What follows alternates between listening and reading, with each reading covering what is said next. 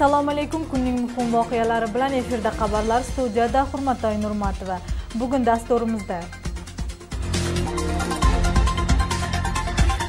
Qirg'iziston hukumati davlat ipoteka kompaniyasini tashkil qildi. Өтө муктаж болгондордун каралышы мүмкүн мугалимдер врачтар каралышы мүмкүн андан кийинки кезекте бюджеттик кызматкерлер каралышы мүмкүн o'sh shahridagi tez yordam xizmati ayrim ko'chalarning nomlari va raqamlari yo'q bo'lganligi sababli kechikmoqda. Шаардын чекесиндегилер баары шаарга караштуу айылдар номерлери жок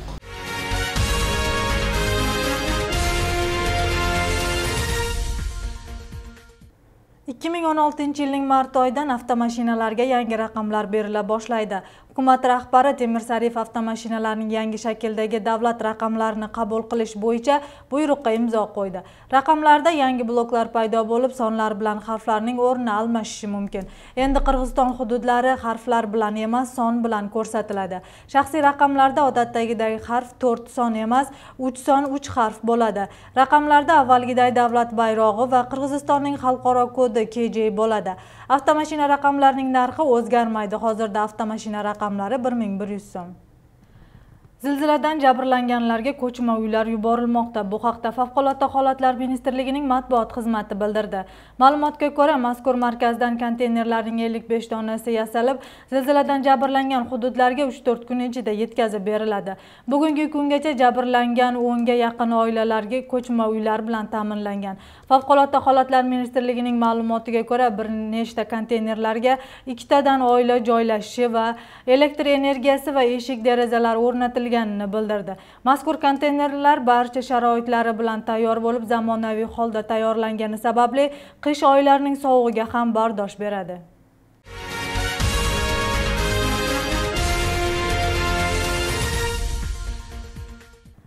Qirg'iziston hukumatining davlat ipoteka kompaniyasi tashkil qilindi. Kompaniya byudjet xodimlarini turar joy bilan ta'minlashni rejalashtirgan. Tijoriy banklar orqali nasiyalar berish bilan ekonom klassdagi turar joylarni qurish amalga oshiriladi. Uyning bir kvadrat metrining bahosi uch yuz dollardan olti yuz dollargacha. Ustama haqi o'n o'n ikki foiz bo'lib 5 yildan o'n besh yilgacha beriladi. Hozirda ipoteka uylarini qaysi joylarga qurish muhokama qilinmoqda. Mazkur uylarni fuqarolar qanday sharoitlar oladi. Bu haqda muxbirimiz bayon qiladi. Qurilishi kerak bo'lgan uylar byudjet mahkamalarida ishlaganlarga besh yildan o'n besh yilgacha muddatda beriladi. Ustamasi o'n o'n ikki foizni tashkil qilib nasiyalar milliy valyutada beriladi. Kvadrat metrni qirq ming sakkiz yuz so'mdan oshirmaslik ko'zda tutilmoqda. Мындайча айтканда курулуп аткан курулуштар бар бирок эл анан албайт эл албайт себеби алар аябай өсүп кеткен алардын дагы ошол есеп қисаптарын азыр өкмөт карап атат ошол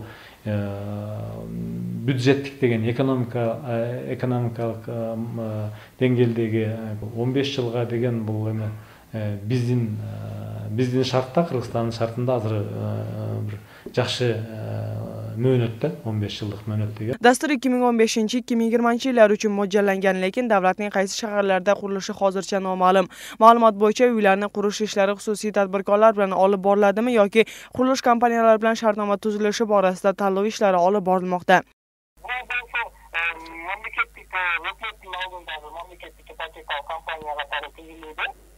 ал негизги максаты буга чейин дагы төмөнү сурайып келгендей ошо мамлекеттик кызматтагы бюджеттик мекемелердеги анан жанагы социалдык кызматтагы кызматкерлерди жеткиликтүү турак жай менен камтуу максатын көздөйт буга чейин схемасы белгиленгендей тиги коммерциялык банктар менен келишим түзүп анан төмөнкү пайыздагы узак мөөнөттөгү ипотекалык насияларды берет hozircha ipoteka uylarni beruvchi kompaniyaning budjeti qancha bo'lishi aniqlanmagan lekin mablag' davlat tomonidan ajratilishi ma'lum bo'ldi ipoteka asosida beriluvchi uylardan bu vaqtgacha navbatda turganlar uy olishi mumkin O'ta muhtoj болгондордун qaralishi mumkin. Muallimlar, vrachlar qaralishi mumkin. андан кийинки кезекте бюджеттик кызматкерлер каралышы мүмкүн ошондой эле тартип менен каралып анан бара бара акча каражаты көбөйүп иштөө бир жакшы нукка түшкөндөн кийин калктын башка катмарларын да ошо кабыл алып кете берет tahlilchilar esa ipoteka asosida uylarning milliy valyuta bilan berilishini ma'qullashadi. Sababi bugungi kunda dollarning narxi qimmatlayversa davlat xizmati xodimlariga ko'p noqulayliklar yuzaga kelishi mumkin. Ularning so'zlariga ko'ra bu kabi dastur o'n yil avval ishlab chiqilishi kerak edi. Mexanizm qaysi mexanizm жөнүндө so'z qilyapmiz bu бул qancha protsent процент e, dollarda долларда берилеби же сомдо берилеби бул да өзүнчө чоң маселе valyuta bilan улуттук bo'lsa bu бериле qo'rqinch болсо бул bo'ladi коркунуч бир аз азыраак болот эгер доллар аркылуу же болбосо башка жок эми конечно улуттук валюта деп атат ушуга бирөкөлө токтоп туруп сом аркылуу бериле турган болсо мен ойлойм бул туура чечим анан ошол калктын аялдоо катпарына кандайдыр бир деңгээлде жардам берүүчү маселе деп айтсак ош shahri bo'yicha uyga muhtojlarning soni 10 mingdan ortadi. So'nggi statistik ma'lumot bo'yicha esa qirg'izistonda 400-500 mingga yaqin kishida uy olish zaruriyati bor. Madina ulug'bek qizi merim jaqov va munara arzbek o'g'li intimaq. Qirg'izistonda kasalxonaning jonlantirish bo'limiga tushgan bolalarning 30-40 foizi vafot etmoqda. Bu haqda bugun sog'liqni saqlash ministrligidan xabarlashdi. Buning sababini mahkama tajribali mutaxassislarning yetishmasligi reanimatsiya bo'limlaridagi uskunalarning eskiligi bolalarga intensiv yordam ko'rsatishning sifati bo'yicha standartlarning yo'qligi va shifokorlarning kasal bolaning holatiga to'g'ri baho bera olmasligi bilan bog'lashmoqda. Bugun bishkekda UNICEF tashkilotining yordami bilan bolalar reanimatologlari uchun maxsus o'qutuv bo'lib o'tmoqda. Respublikaning barcha hududlaridan unga 30 ga yaqin shifokorlar ishtirok etmoqda.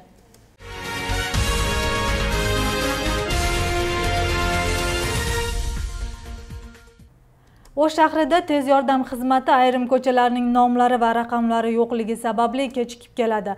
Qoida bo'yicha tez yordam qo'ng'iroqdan so'ng 20 daqiqa ichida yetib kelishi kerak. Biroq manzilda adashib yarim soatdan ortiq vaqtgacha kechikishadi. Tez yordam xizmatidagi muammolar haqida navbatdagi lavhada. O'sh shahrida birgina tez yordam bekati bor. Unda 15 avtomashina bilan 40 dan ortiq xodim shahar yashovchilariga xizmat ko'rsatadi. Qo'ng'iroq bo'lgan zahoti aytilgan yerga yetib borishga manzillarning aniq emasligi qiyinchilik yaratadi. Shahar chetidagi hududlarda ko'cha nomlari bo'lmagan raqamlari yo'q uylar ko'p. Endi biz hozir mana masala bo'yicha biz мурун көп эле кайрылдык ачыгы туура эле биз кайрылган үчүн мына азыр ошол мына борбордук көчөлөрдүн баардыгында азыр номерлор болуп калды этажный үйлерде номер болып қалды енді мынау э, жаңы құрылып жатқан аймақтарда шындығында қиын мұны енді біз көбінше территориальный комитеттерге дағы қайырылғанбыз енді құда қаласа дағы қайырыламыз көп мысалы үшін емелердің жаңағы ә, э, квартальныйлар бар емес пе бұларға кейде айтамыз ну бірақ э, эми анча баягы жаңы курулуп аткан аймактарда жыйынтык чыгышы кыйын.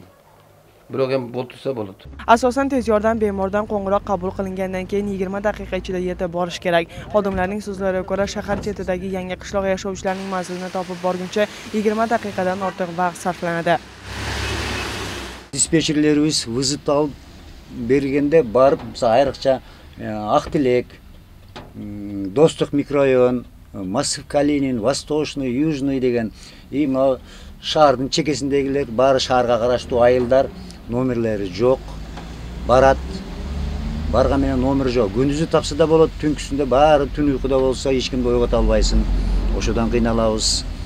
Tez yordam bekatida 13 avtomashina to'xtovsiz ishlasa 3 ta mashina favqulodda holatlar uchun tayyor turadi agar jarohatlanganlarning soni ko'p bo'lsa qo'shimcha mashina yuborishga to'g'ri keladi shu sabab mashina yetishmovchiligi yuzaga keladi misol uchun срочный chaqiruv bo'lib qoladi borganda migalka менен берсаңыздар өзүңөр байкайсыздар жолдо айым ушу пробка жол бошотпойт азыр ошонун негизинде кээде кеч калабыз ошо чолпулар дагы айталы ушу бири бирин сыйлоо бир маданият деген нерсени үйрөнүш керек да шоферлор бири бирине маданияттуу карап жол берип tez yordamga kuniga o'rta hisob bilan 180 kishi murojaat qiladi. Barcha murojaat qilingan bemorlarga vaqtida yetib borishga yo'ldagi avtoturargohliklar ham salbiy ta'sir ko'rsatadi.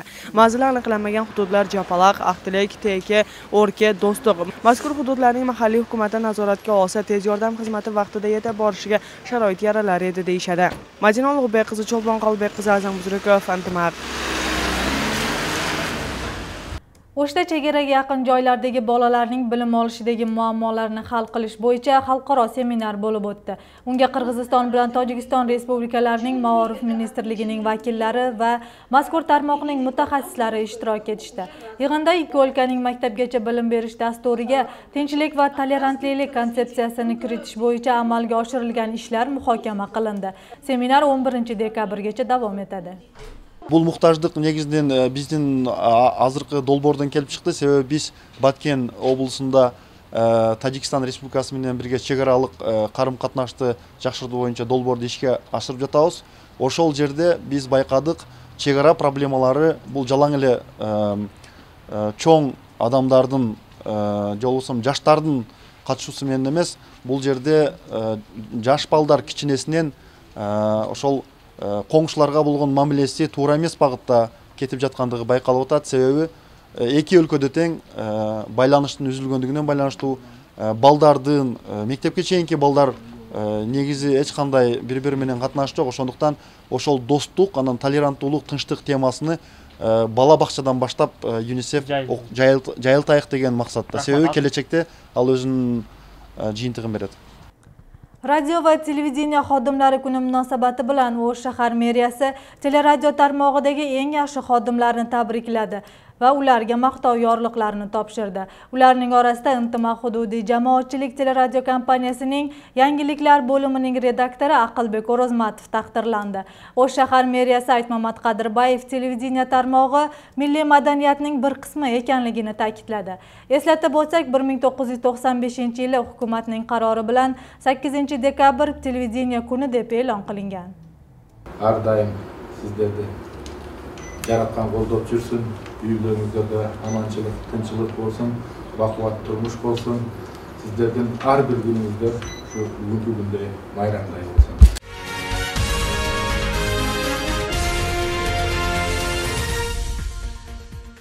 dasturimizni dunyoda bo'layotgan so'nggi voqealar bilan davom ettiramiz. Ispaniyada yoshlarni islom davlati jangarilar guruhiga qo'shilishni targ'ib qilgan ikki nafar kishi qo'lga olindi. Ular marokkodan kelib bir qancha vaqtdan buyon o'lka hududida istiqomat qilishgan. Qo'lga olinganlar internet orqali jangarilar guruhiga qo'shilishga targ'ibot ishlarini shuningdek qurol yaroqlardan foydalanishni va portlovchi moddalarni tayyorlashni o'rgatadigan videolavhalarni ko'rsatishgan. Ispaniyada islom davlati jangovar guruhiga qo'shilishga targ'ib etgan bir ayol kishi bilan bir erkak kishi qo'lga olindi ularni qo'lga olish operatsiyasi janubiy va shimoliy kataloniya va kanar orolida olib borilgan qo'lga olinganlar marokkodan kelib ispaniyada yashashgan edi Бұл адамдар ислам мамлекетіне жананың башчысына қызмат кылуу үчүн ант беришкен. Учурда алардын үстүнөн тергөө жүрүп жатат. Qo'lga olinganlar yoshlarni internet orqali jangovar guruhga qo'shilishga da'vat etishgan. Undan tashqari jangovar guruh saytlariga qurol yaroqdan foydalanish yo'llari va portlovchi moddalarni tayyorlashni o'rgatayotgan videoroliklarni ham o'rnatishgan. Tartib soqchilari jangarilarni tarafdoshlarini kompyuterlarini tekshirish uchun olib ketishgan. O'tgan yili sharl ebo jurnalga jangarilarning hujumidan keyin ispaniya islom davlatiga qarshi kurashish choralarini kuchaytirgan edi. Yil boshidan beri o'lkada islom davlati jangarilar tashkilotiga a'zolikda gumonlangan yuzdan ortiq odam qo'lga olingan. Birlashgan millatlar tashkiloti kelasi yilga gumanitar yordam uchun 20 milliard 100 million dollar kerak bo'lishini bildirdi. Hozirda yordamga muhtoj bo'lgan odamlarning soni 90 millionga yaqinlashib qolgan. Mutaxassislar bilinmagani bilan vaziyat og'irlashib borayotganini aytib holat ikkinchi jahon urushidan keyingi ko'rinishga o'xshab qolganini bildirdi. Hozirda suriya iroq va yaman fojiadan ko'p jabrlanib yordamga muhtoj bo'lganlarning ko'pchiligi mana shu joylarda. Birlashgan millatlar tashkiloti xalqaro tashkilotlardan 2016 yilga qarata insonparvarlik yordamlarini uyushtirish uchun 20 milliard 100 million dollar pul yig'ishga chaqirdi bmtning ma'lumotiga ko'ra kelgusi yili hisoblangan jahon bo'yicha yordamga muhtoj 90 millionga yaqin odamga ko'mak ko'rsatish uchun mazkur miqdordagi mablag' sarflanishi aniqlandi The overall picture is bleak. Кырдаал өтө оор адамдардын жапа тартканы билинбегендиги менен абал экинчи дүйнөлүк согуштан кийинки маалга окшоп калды учурда сексен жети миллион киши жардамга муктаж эки миң он алтынчы жылга барып алар жүз миллиондон ашаары күтүлүүдө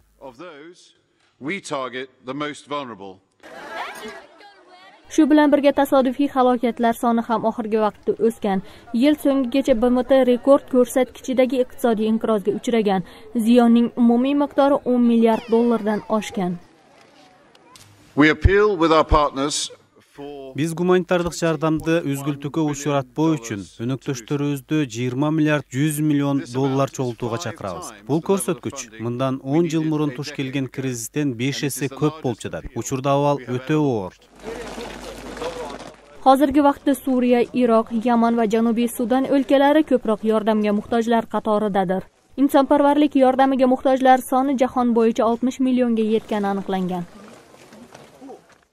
Bugun sizga yetkazmoqchi bo'lgan xabar va lavhalarimiz mana shulardan iborat. Shu va boshqa yangiliklar bilan bizning uch w nuqta intimaq nuqta kj saytimiz orqali tanishishingiz mumkin.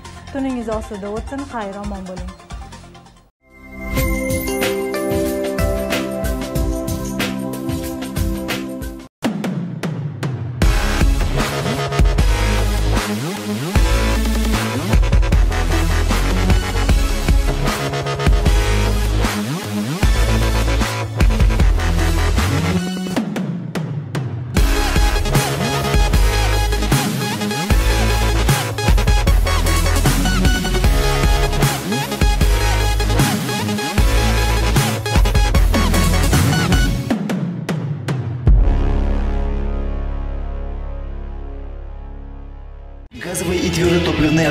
Системы, водонагреватели, радиаторы отопления, конвекторные обогреватели, полотенцесушители, ведущих мировых производителей Франции и России, Атлантик или Макс для дома или офиса, оптом и в розницу. Приятные скидки с гарантией до 7 лет. В фирменном магазине Атлантик. Торговый центр Оштатан, первый этаж. Атлантик. Абсолютное качество. Assalomu alaykum ertangi kungi ob havo ma'lumoti bilan tanishib oling. Ob havo ma'lumoti homiylari cho'qoychu eng sifatli oyoq kiyimi do'koni va atlantic limax firma do'koni atlantic orzungizdagi eng sifatli maishiy jihozlar. Qirg'iz gidrometrining bergan ma'lumotiga ko'ra 10 dekabrda qor yog'adi. G'arbdan esgan shamolning tezligi sekundiga 4-9 metrdan 15-20 metrga yetadi. Havo harorati chuy oblastida kechasi minus 2-7 daraja sovuq bo'lsa kunduzi minus 1-6 daraja. Talas oblastida kechasi minus 4-9 daraja sovuq kunduzi esa minus 1-6 daraja. Issiqko'l oblastida kechasi minus 2 minus 7 daraja sovuq kunduzi esa minus 3 2 daraja. Norin oblastida kechasi minus 10 minus 15 daraja sovuq bo'lsa kunduzi esa minus 2 minus 7 daraja sovuq bo'lishi kutiladi. Batken oblastida kechasi minus 5 darajagacha sovuq kunduzi esa minus 2 3 daraja. Jalolobod oblastida kechasi minus 5 daraja sovuq bo'lsa kunduzi minus 1 4 daraja sovuq. O'sha oblastida kechasi minus 5 daraja sovuq kunduzi esa minus 1 4 daraja bo'lishi kutiladi. Poytaxtimiz bishkekda 10 dekabrda qor yog'adi. G'arbdan esgan shamolning tezligi sekundiga 4-9 metrdan 15-20 metrga yetadi. Havo harorati kechasi minus 2 minus 4 daraja sovuq bo'lsa kunduzi minus 1 minus 3 daraja. Shahrimiz o'shda ham ertaga qor yog'adi. G'arbdan esgan shamolning tezligi sekundiga 4-9 metrga yetadi. Havo harorati kechasi minus 2 darajagacha sovuq bo'lsa kunduzi 1-3 daraja sovuq bo'lishi kutiladi. Qadrli teletomoshabinlar siz 10 dekabrda kutilayotgan ob havo ma'lumot bilan tanishdingiz ob havo ma'lumot homiylari cho'qoychu eng sifatli oyoq kiyimi do'koni va atlantik limax firma do'koni. Atlantik orzungizdagi eng sifatli maishiy jihozlar. Sizlar bilan sitora absattar bo'ldi tuningiz maroqli o'tsin